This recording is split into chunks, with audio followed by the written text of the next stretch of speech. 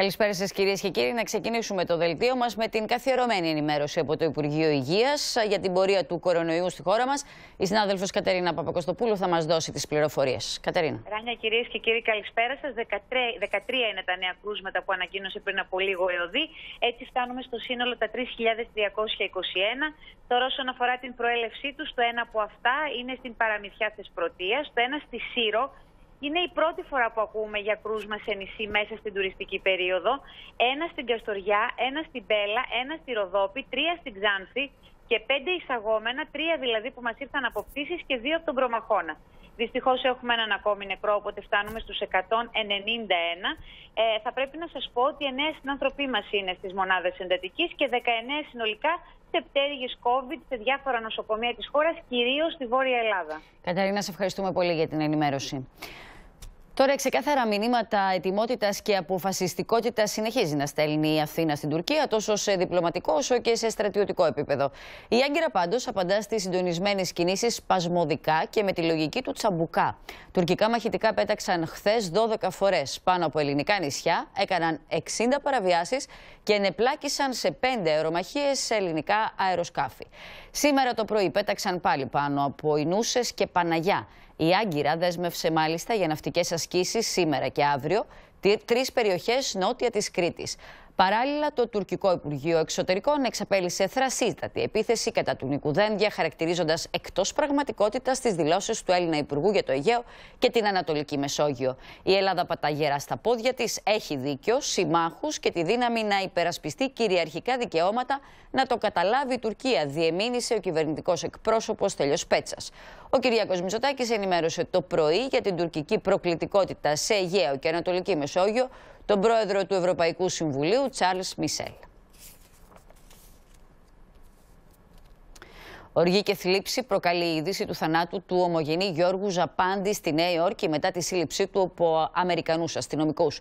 Ο 29χρονο άνδρας έχασε τη ζωή του όταν οι αστυνομικοί του τμήματος της Νέας Υόρκης χρησιμοποίησαν τέιζερ προκειμένου να τον ακινητοποιήσουν στο υπόγειο του σπιτιού του.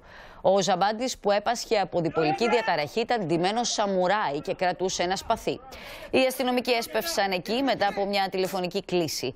Ισχυρίζονται ότι τον χτύπησαν με τέιζερ όταν αρνήθηκε να αφήσει το σπαθί παρά τις διαταγές τους.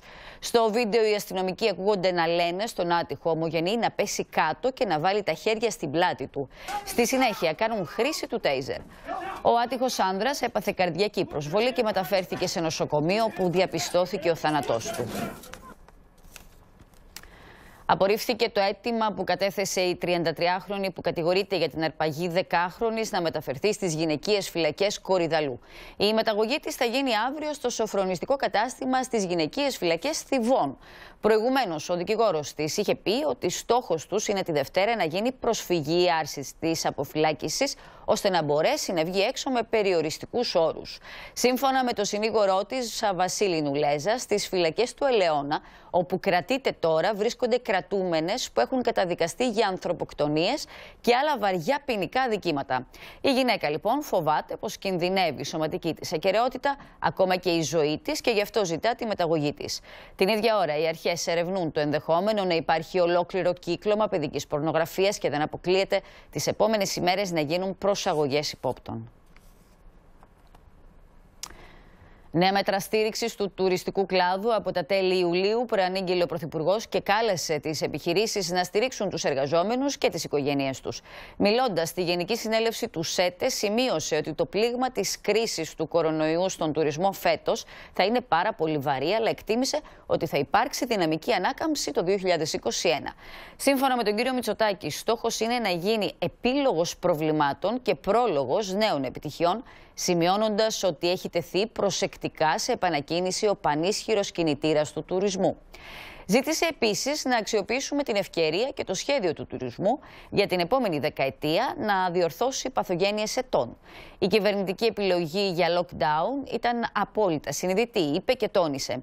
Είχαμε συζητήσει ότι κλάδοι όπως ο τουρισμός και η εστίαση θα πλήρωναν ένα σημαντικό τίμημα, αλλά πρόσκαιρο. Η προτεραιότητα ήταν η προστασία της δημόσιας υγείας και της ζωής των Ελλήνων, τόνισε ο Πρωθυπουργός. Την άσκηση συμπληρωματικής ποινικής δίωξης για το κακούργημα της έκθεσης ζητά ο ανακριτή που χειρίζεται την υπόθεση για την τραγωδία στο μάτι Αθανάσιος Μαρνέρης. Συγκεκριμένα, ζητά την αναβάθμιση του κατηγορητηρίου για την φωνική πυρκαγιά, επικαλούμενος νεότερα στοιχεία που έχει στη διάθεσή του. Σύμφωνα με πληροφορίες, το αίτημα του ανακριτή αφορά σε υπαλλήλους της πολιτικής προστασίας και της πυροσβεστικής υπηρεσίας, οι οποίοι ήδη εμπλέκονται στην υπόθεση. Κατά τις ίδιες πληροφορίες, πρόκειται για στοιχεία που συνέλεξε από τις πρόσφατες εφόδους στο συντονιστικό κέντρο της πυροσβεστικής και σε άλλες υπηρεσίες που είχαν την ευθύνη του σχεδιασμού και επιχείρησης κατάσβεσης της πυρκαγιάς. Συνοστισμός επικράτησε από νωρίς το πρωί έξω από την ΑΔΟΗ Αθηνών στην Ομόνια, αλλά και στο υποκατάστημα του ΕΦΚΑ στην Καλιθέα. Πολλοί φορολογούμενοι βρίσκονταν σχεδόν ο ένας πάνω στον άλλον από τις 4 το πρωί για να διεκπαιρεώσουν τις υποθέσεις που τους απασχολούν. Οι περισσότεροι φορούσαν μάσκα, ωστόσο οι αποστάσεις δεν τηρήθηκαν και ο χώρος ήταν κλειστός. Υπενθυμίζεται ότι στη συγκεκριμένη εφορία πλέον στεγάζονται έξι υποκαταστήματα, κάτι που δημιουργεί μεγάλο φόρτο εργασίας και συνοστισμό σε μια δύσκολη περίοδο που θα πρέπει να αποφεύγεται. Οι ίδιες εικόνες επικράτησαν και στο υποκατάστημα του ΕΦΚΑ στην Καλιθέα, με μέσο όρο αναμονή 2 με 3 ώρες. Στην Καλιθέα επίσης δεν τηρήθηκαν οι αποστάσεις, ενώ δεν φορούσαν μάσκα όλοι οι πολίτες. Και εδώ τελείωσε το απογευματινό δελτίο ειδήσεων του Star Channel. Επόμενη προγραμματισμένη ενημέρωσή σας στο κεντρικό δελτίο στις 8 παρατέταρτο με τη Μάρα Ζαχαρέα. Κυρίες και κύριοι, καλό και χαρούμενο απόγευμα να έχετε. Γεια σας.